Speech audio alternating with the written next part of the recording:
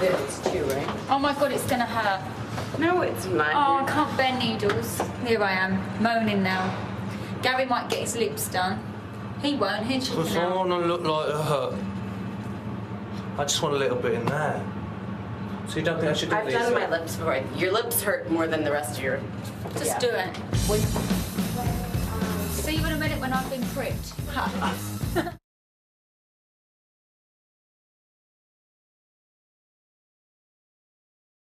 done. We've all had a bit of bone.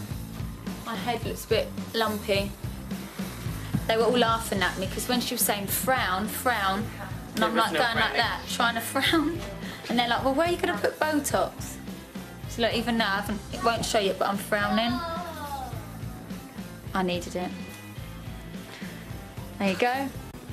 They've always a bit up and Gary chicken down. chicken Ah, right, that's a, no, nothing close right I now. wanted to do my lips, but I'm going to do it next time. Oh, he says that every time. No, I'm definitely going to do it next time. Should have done it.